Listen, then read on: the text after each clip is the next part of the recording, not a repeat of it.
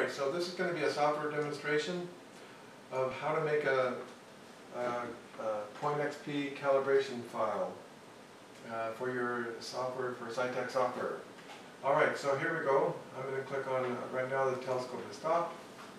You can see it's right here on the horizon limit, that's where the software bug, or the telescope bug is. Okay, so features, we're gonna run a script. Okay, so what do we have here? So we have here, right here, is a virtual camera. I can go over here, I can do a, a single photo. If I click on this button here, and you can see it's taking the picture. Now it took a picture, and now it's gonna init my telescope. So I just synchronize my telescope. Okay, so th these stars in this image are actually, uh, it's a virtual picture, it's a virtual image that um, uh, uses a star catalog to place the dots. So that, so it, uh, Plate Solve by Dave Rowe is able to solve that. And it, so it's really a powerful tool for testing or for, you know, uh, anyway. So here's the sky view. And uh, you can see this little mountain here for the horizon file.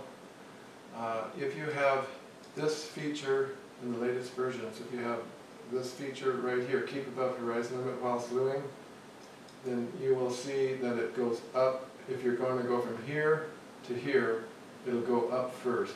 So if you had an obstruction, it would miss your obstruction. I've always wanted to do it, I finally did it just recently. Okay, so this window here is my interface to Dave Rowe's plate solve, which is extremely fast. You won't even believe how fast it solves like this image right here. Okay, so I'm going to clear this script out so we can you can see me making the script. Okay, now we're on the plate solve stuff uh, tab. We're going to make, I'm going to do 12 calibration points. A half a second, it doesn't matter for the virtual camera. Then by one settling delay, we're going to do seven seconds.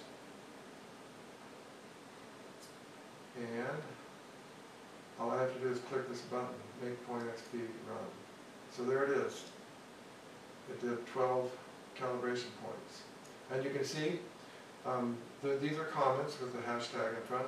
Then, then we're slewing to alt-az, which is good because now this same script will be good for all night long if you want.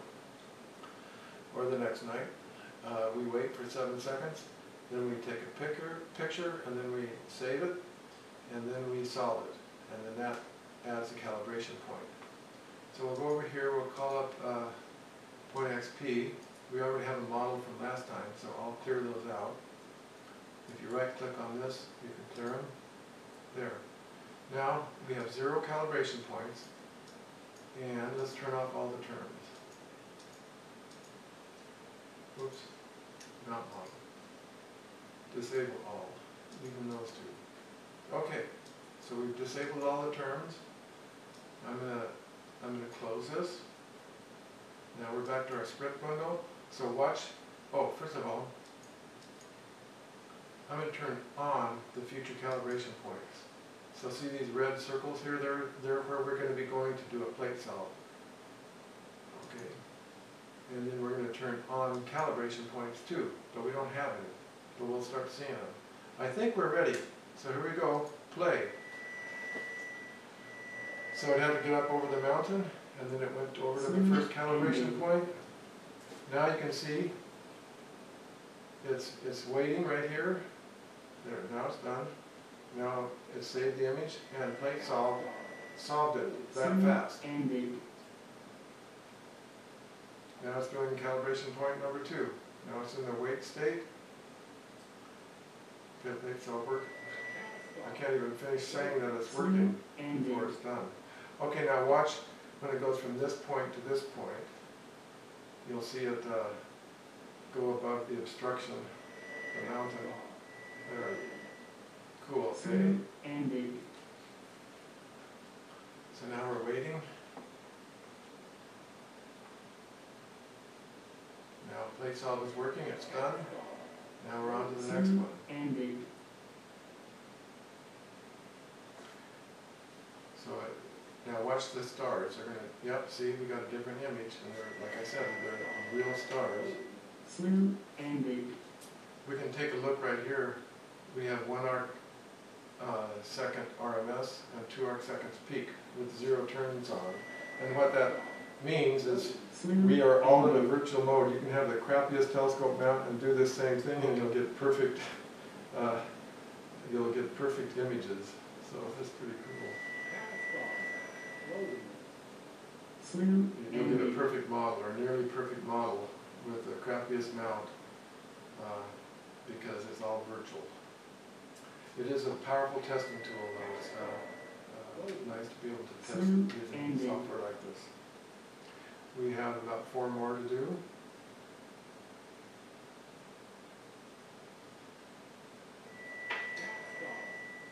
Slew ended.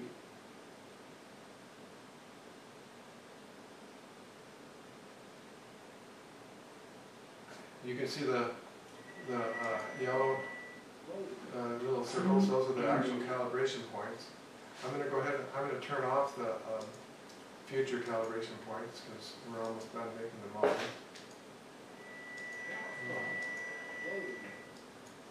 Okay, now we're on our last calibration point.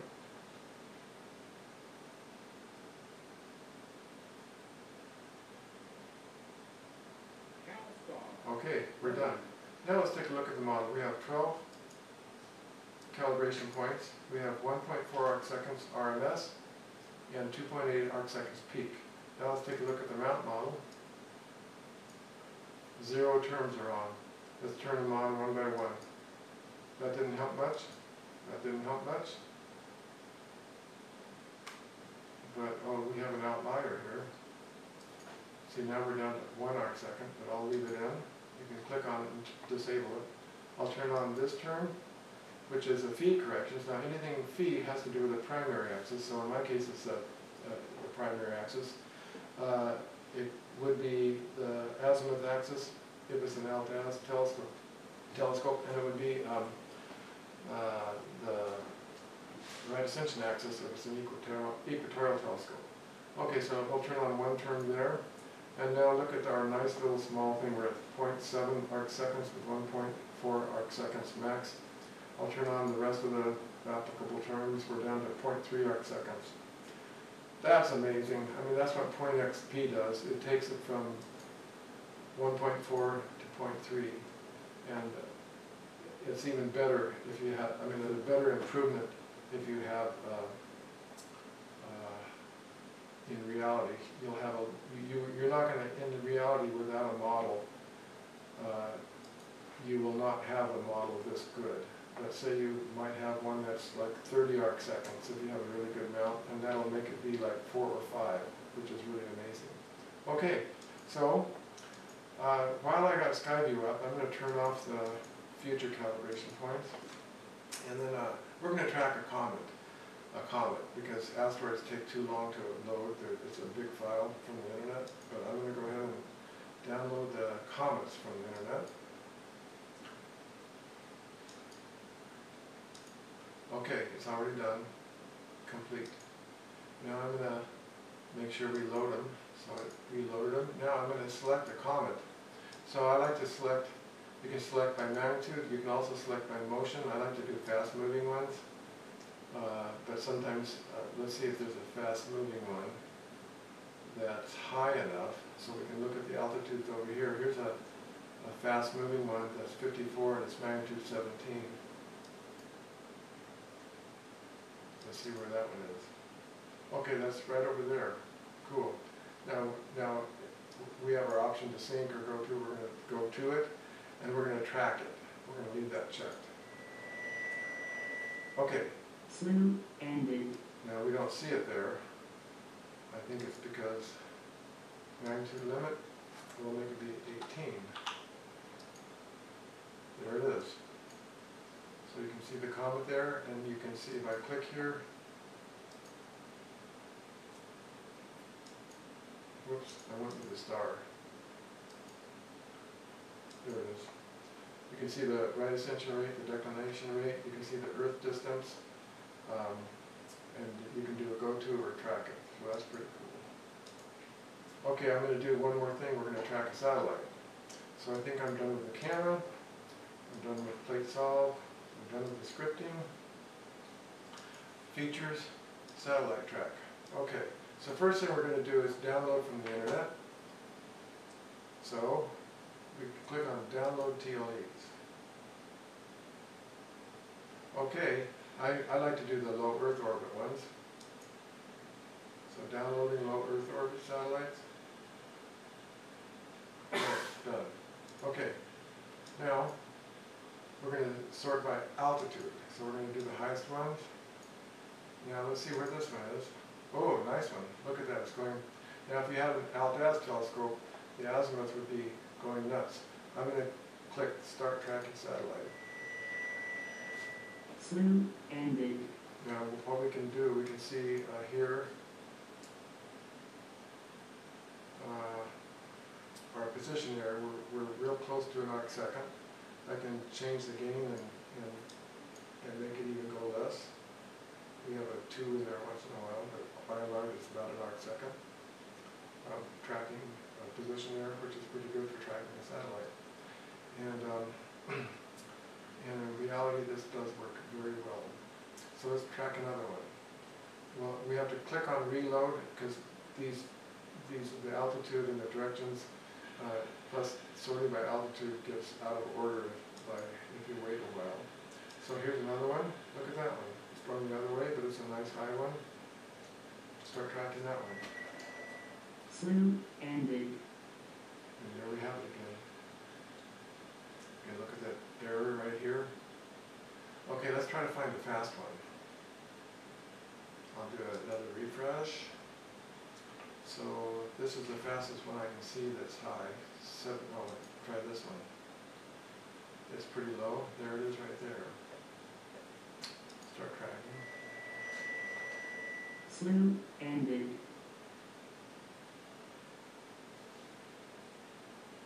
So the reason I like Alt-Alt telescopes is uh, because it has a pole too. Uh, An Altaz telescope has a pole at the zenith, or the zenith, depending on if you're from England or not. And um, I like, uh, I like my pole to be on the horizon. So the pole is hard to get to. On an equatorial telescope, it's a north celestial pole if you live up north. And uh, so if you're trying to track a satellite through that pole, your, your right ascension's gonna go nuts.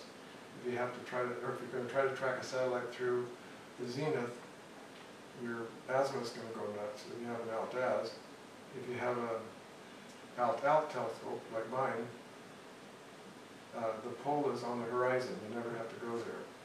Okay, let's do another refresh, let's see if we can find one that crosses the horizon.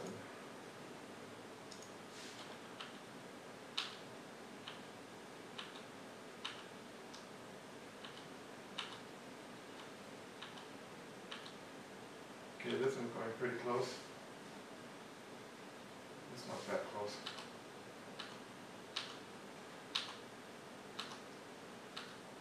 Okay, that's the closest one we can find. So we'll track that one. So you can see here, the zenith is not gonna be any problem. Okay, I think we're done.